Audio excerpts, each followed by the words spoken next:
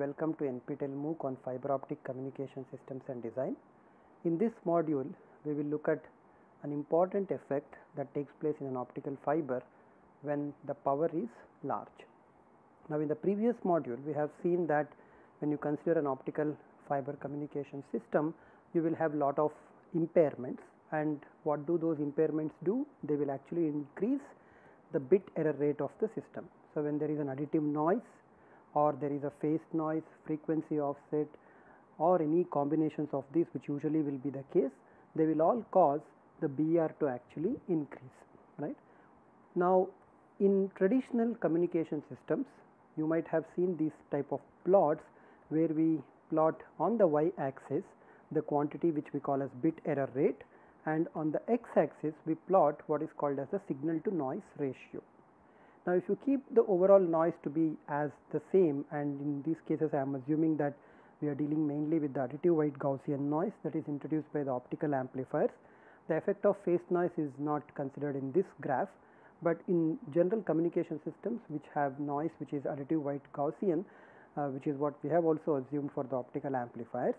If you keep the reference bandwidth uh, where you are calculating the noise power to be same and then essentially fix the noise power then to increase the signal to noise ratio or the optical signal to noise ratio or the electrical signal to noise ratio, you would have to increase the appropriate optical power or appropriately the photocurrent and photocurrent increase would of course depend on the increased optical power being incident on the photodetector. So, essentially what I am trying to tell you is that if you keep the noise level fixed then instead of plotting on the x axis the signal to noise ratio you can plot what is called as the launch power of the communication system. What is this launch power?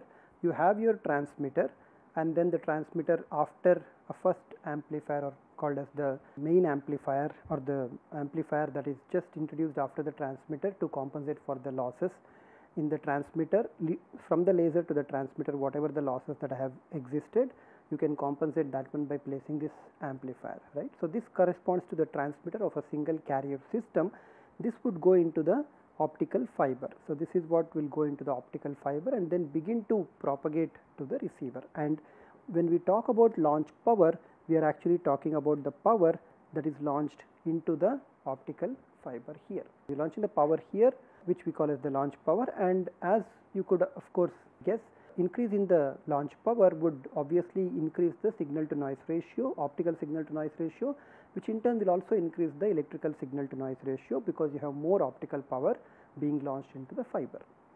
Now, we do so as I was saying you, you if you can look at traditional communication systems and look at textbooks or look at the literature, you will find that as the launch power P in increases, the bit error rate actually drops. Okay. So, this is something that you would also expect because now if the input signal power increases the that means it is now able to withstand more amount of I mean withstand the noise better than a system which has a lesser input power. Why is that so? Because you have kept the noise level here and now increasing the signal power means you are moving away much higher in terms of the noise power. So, while noise does impact your bit error rate, the effect is not so in, you know the effect is small when the difference between the signal power and the noise power which is essentially what the signal to noise ratio is uh, you know that if that difference is actually quite large then the effect of noise will be smaller and therefore the number of errors that you would make would also be reduced substantially. So, this is something that you would expect physically also that as I start increasing the power which in turn increases the signal to noise ratios whether I talk about the signal to noise ratio in the optical or the electrical domain my BER of the system should actually reduce right. So, this is what one would expect. Now, if you look at the same situation for an optical fiber communication system and then you start increasing the launch power of whatever the channel that you are transmitting something very interesting happens. The BER initially decreases from a value which is high which is of course as expected and after reaching a certain minima starts to increase again.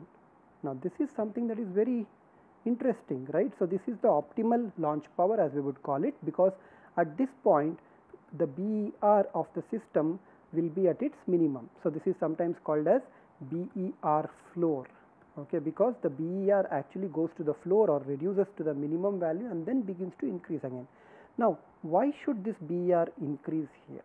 I mean what there is is there any uh, reason as to why BER instead of decreasing as the power increases actually leads to an increase in the BER rather than decrease in the BER and the answer turns out that in optical fibers we have so far assumed the fiber to be a linear medium right. So, all our impairment in terms of the actual fiber was by the chromatic dispersion which we captured by a equation or pulse propagation equation which if you want to just refresh your memory is given by del A by del Z, A being the pulse envelope correct? This is the complex pulse envelope. And I am of course in this equation eliminating the carrier out there and also going to all the you know retarded frame delayed frame will allow me to include the dispersion in a straightforward manner. And dispersion as we know is acting in this particular way. And of course this equation is linear. This entire thing is linear because the dispersion effect is also linear. I mean because of this linearity we were able to go to the Fourier transform right or the frequency domain solve or account for the dispersion and then go back to the time domain in our solution method called as beam propagation method. So, this is the linear description of the optical fiber. In this description itself we were able to talk about the optical fiber transfer function as well. Okay. Turns out that this effect is true as long as the optical power is small. Consider a simple calculation assume that we have 10 milliwatt peak power pulse being launched into the fiber. Okay. I am going to assume that this is a single mode fiber. So, the fiber core radius A is about 4 micrometer, the diameter is about 8 micrometers and the core area which we will call as say AC will be about pi into 4 square which is about 16 right. So, 16 into pi micrometer square. So, this is what the core is. Now, look at something interesting. We define the intensity of the optical signal as the power that is contained by that optical fiber divided by the area over which the pulse is spread out. For simplicity we will assume that all of the power is actually concentrated in the core itself although that is strictly speaking not true, but we will assume that one this is a good approximation for most cases that we are considering and then evaluate what would be the intensity here. Okay. Turns out the intensity for assumed peak power of 10 milliwatt will be 10 into 10 to the power minus 3 watt divided by pi let me approximate it to be 3 so that I have 16 times 3 which is about uh, 32 48 right. So, I have about 48 this is micrometer square. So, converting that into meter will give me minus 12 meter square. So, you can see that the units are all nicely matching intensity is basically watts per meter square and you can see that even if you now make this approximation that instead of 48 you can take this approximately to be 50 that 0 and 0 will cancel with respect to each other and then you have 1 by 5 which is about 0.2 into and then this 10 to the power minus 12 in the denominator will go to the numerator right. So, once that goes into the numerator it would be 12 minus 3 that would be 9 into 10 to the power 9 watt per meter square right. Alternatively you can express this as 2 into 10 to the power 8 watt per meter square. Just to give you an idea of how high this intensity is, let me tell you that intensity is kind of I mean is actually proportional to the peak electric field square magnitude of that one divided by 2 z naught, z naught or zc let us say, zc being the core impedance which is given by z naught divided by n core right. z naught is of course 377 ohms. As we know from our electromagnetic courses NC is about 1.5 for typical single mode fibers. And what I would like you to do is to use this equation and then determine what is the peak value magnitude of the peak value corresponding to an intensity of 2 into 10 to the power 8 watt per meter square right. So, you do this and then you will see that the resulting electric field will be several kilovolts per meter and if you condense that into a centimeter that will be enormous value or micrometers as because the optical fibers are actually micrometer based uh, sizes of those devices. So, you will see that there is enormous electric field that the fiber core needs to support in order to uh, transmit as simple as about 10 milliwatt of optical power right that is a small amount of power by any measure that we normally think of because our transmitters RF transmitters or the wireless base station transmitters are running at hundreds of watts or sometimes even kilowatts. So, what is really happening? The difference between those systems which use these high powers and the optical fiber system is that all of this power even though it is very small is condensed into an even smaller core area and remember this is only the single carrier case that we considered. In an optical fiber communication system, there are about 200 WDM channels, DWDM channels and if all of those 200 DWDM channels are going to give in just about 1 milliwatt of peak power pulses and if all the pulses line up simultaneously at the same time which happens many times uh, in fact it happens all the time then you will see that the total power density or the total intensity that uh, is is, is being sustained by the optical fiber is extremely large and this extremely large intensity causes the breakdown of the material itself leading to non-linear effects. Okay. So, this is what we want to look at in very brief things because this entire thing to discuss nonlinear effects would mean that we have to float a separate course for this which we are not doing. So, we will just recap the main nonlinear effects that will be necessary for us to understand optical fiber communication system. These nonlinear effects are usually classified into two types. One is called as the scattering effects. In the scattering effect you have what is called as stimulated Raman scattering and you have stimulated Brillouin scattering. In the Raman scattering what happens is when you send in a wave this wave is going to generate two additional waves. One wave is called as the Stokes wave and the other one is called as the anti-Stokes wave. Okay. So, this is in the frequency picture the Stokes will have usually the lesser frequency, the anti-Stokes has a higher frequency. In terms of the wavelength picture they are actually different and this power which is optical power that we have transmitted is usually called as pump. These are all older terminology. This was in fact discovered by Raman uh, way back about 100 years ago and this notation of using pump Stokes and anti-Stokes actually comes from about 100 years old. What for our purpose is this pump could equally be a channel that is carrying information with reasonable optical power. What it means is that because you have put in this channel, because that there is a channel that is propagating exists in the core, it will actually give some amount of power to the Stokes wave and results in the generation of the Stokes. So, as I start increasing the pump power, it turns out that it will start to give more and more power to the Stokes the Stokes will eat away or the Stokes will start to give power back to another thing and then so on and so forth and this is how your channel actually starts to lose power and when you have multiple channels each of those multiple channels will undergo stimulated Raman scattering and start giving out power. In terms of the wavelength picture the smaller wavelength signals are the pump signals which are stronger and they start giving out the power to the higher channel. So, while you may have started off with all the channels at an equal power which is you know required for many cases in optical receiver operation by the time it has passed through the fiber these powers have all become unequal and then what you have is a system where the gains of each channel will be different and it will actually depend on what is the power in the other channel and what is the propagation that has happened and what is the power uh, that you have presented in the uh, principal channel itself. So, stimulated Raman scattering uh, wherein the Stokes and the pump frequency shifts are quite large, they are about 10 to 12 uh, terahertz. So, it is a large shift as we are talking about, but nevertheless will impact our optical communication systems because it starts to eat away the power.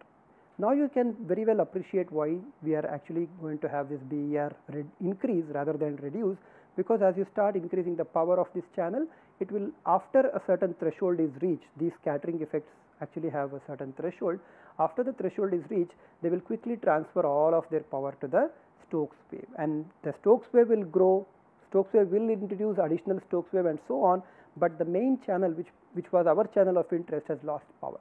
Now losing power means signal to noise ratio actually goes down and therefore BR actually starts to increase again. Now that may not be symmetric because symmetric would mean that whatever the power increase is happening uh, is the same as the case for the power decrease. So, it is it's not symmetric because not only stimulated Raman scattering is there, there are additional uh, nonlinear effects. So, the other, other nonlinear effect which actually limits what is the maximum power that we can actually put into the optical fiber is called the stimulated Brillouin scattering.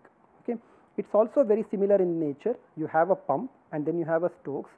The anti-Stokes is usually very small and thermal dependent or temperature dependent. So, we do not worry about that one. But the important property of stimulated Brillouin scattering is if in an optical fiber the pump propagates in the forward direction or the channel starts to propagate from A to B, the stimulated Brillouin scattering signal propagates in the opposite direction. Now, this is the reason why it is used in many sensor applications especially for structural health monitoring of buildings, but it is actually bad in terms of optical communication system because as the pump power increases once we have reached the threshold all of the pump power will be converted to the stimulated Brillouin scattering and this one will grow in the backward direction and it will interact with the forward propagating signals meaning that we are actually going to lose lot of power here as well. And these are scattering effects which require the fiber to assist them. So, these are sometimes called as medium assisted nonlinear effects because the medium which in the form of the lattice vibrations have to be involved in order to observe these effects. Okay. Then there are what are called as non-scattering effects. These non-scattering effects are also called as index. When I say index, I actually mean refractive index. Refractive index dependent phenomenon because these non-scattering nonlinear effects will actually modify the refractive index of the fiber. So, the fiber refractive index when there is nothing will be NC, but after including this non-scattering effects it will actually become some NC plus delta n where delta n is proportional to the intensity. In fact, it is given by N2 times I and N2 is called as the Kerr coefficient or Kerr refractive index term and I of course is the intensity. And now you see why intensity plays an important role not the power because you may have a high power system, but if the area that this power is taking up is huge then the power per area is actually quite small. Whereas if you take the small amount of power, but try to squeeze it in into as narrow as possible the space such as an optical fiber core, then the intensity becomes high and the modification of that results or the intensity will result in the modification of the refractive index which will give rise to three main effects. One is called as SPM, the other is called as XPM and finally you have what is called as FWM. What is SPM? S stands for self phase modulation okay and XPM stands for cross phase modulation okay and FWM stands for 4 wave mixing. The strength of nonlinearity in optical fibers is also given by the term gamma instead of N2. A gamma is measured in per watt kilometer and for a standard single mode fiber this is about 1 to 1.2 per watt kilometer. Okay. Of these three effects we will look at SPM and FWM, XPM being important unfortunately we do not have time to look at that one. So, we are not going to look at XPM here. SPM is very simple suppose I have this pulse okay, which is a function of time then because of the nonlinearity what will happen is this pulse or the pulse profile P of t, this is the power profile. Okay, so please remember this is the power profile that we are talking about. What will this do is that it will change the refractive index by a factor of gamma p and it will also make the refractive index dependent on dependent on time. And if you propagate this pulse over an optical fiber of length L then you will see in the absence of any attenuation you will see that this would be the total phase shift that the signal would suffer will be given by gamma p of t times L. So, if you started off this one as a of z equal to 0 t, by the time you reach at L, you have a of L t being equal to the original pulse amplitude multiplied by e power minus j gamma p of t times L. And as you can see, this is a time dependent phase. And we know that when this time dependent phase exists, then chirping will also exist, right and gamma in this case is positive for an optical fiber. So, the chirping that you will actually find will be of the nature that will be opposite to the dispersion. So, when there is dispersion the chirping introduced by the dispersion will oppose the chirping introduced by the self phase modulation. They will eventually one of them first will one of them will be stronger usually the nonlinearity will be stronger. So, SPM induced chirping will be larger and then as the dispersion takes over it will reduce the amplitude and the power of the pulse that is propagating because dispersion spreads out signals in time. And because of this reduced power the nonlinearity will go down.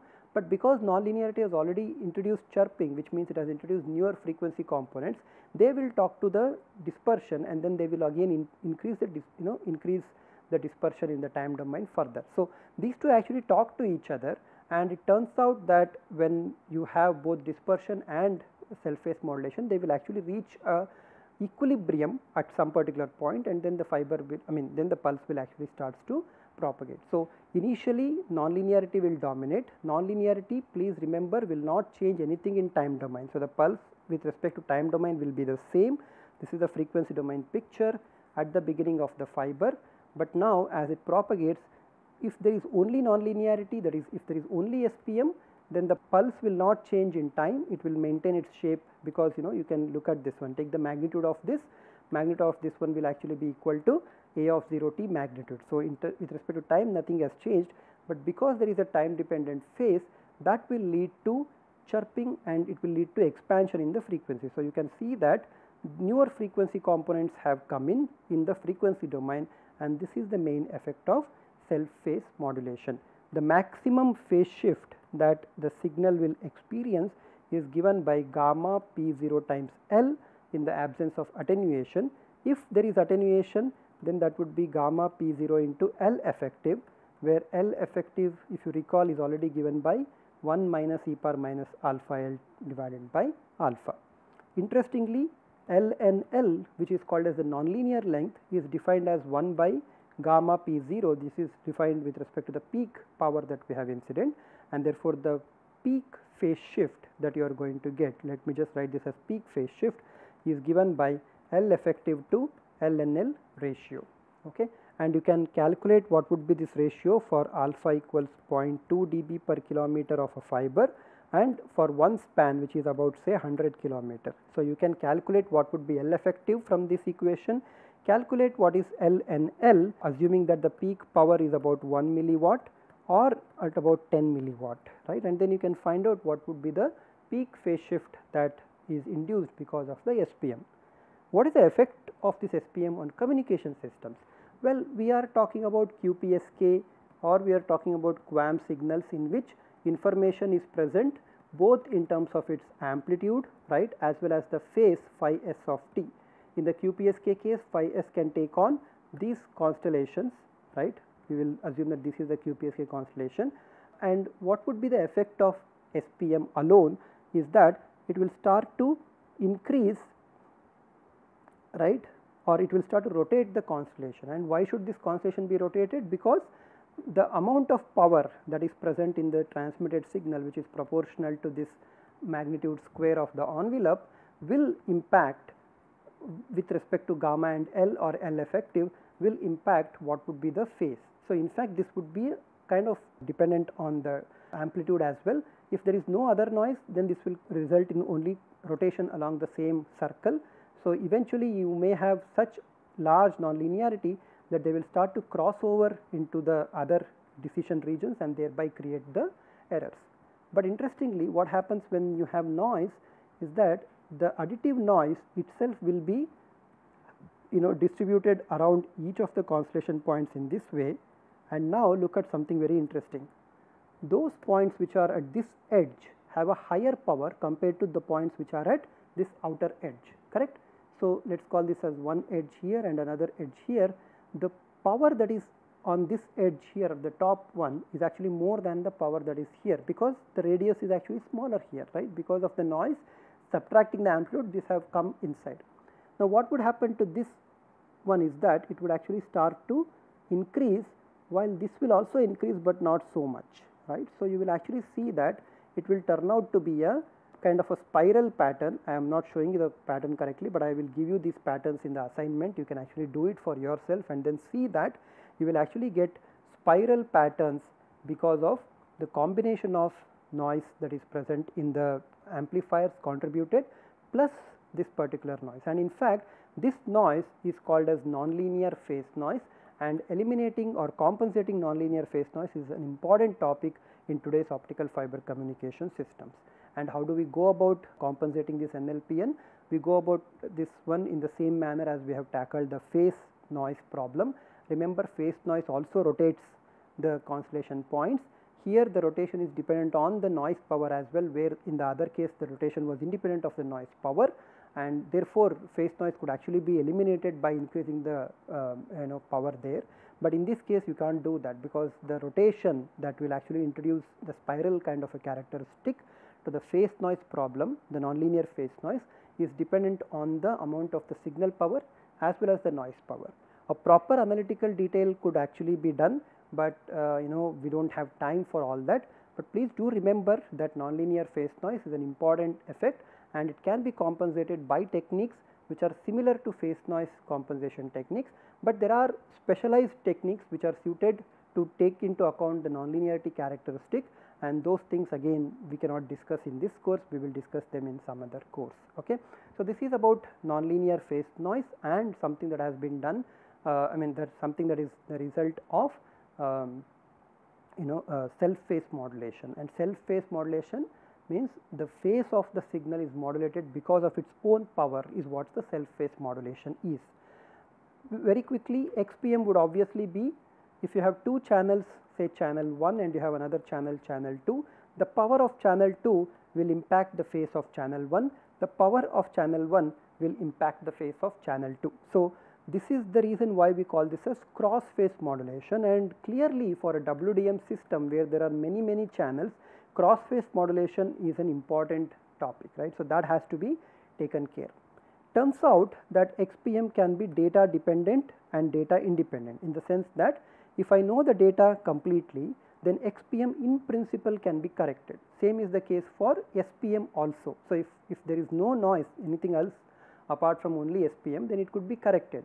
But because there is noise which is interacting with the nonlinearity of the fiber resulting in what is called as NLPN, you cannot correct NLPN in the in a deterministic manner. So, this is a random noise whereas the XPM if the data is known can be corrected in principle because that is a deterministic nonlinearity. Okay.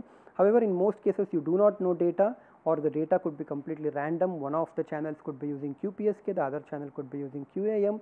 So, all of those means that you know XPM is a harder problem than the reasonably simple self phase modulation or nonlinear phase noise. Interestingly, nonlinear phase noise is also called as Gordon-Mollenauer noise because it was uh, you know it was kind of first studied by these two people Gordon and Mollenauer.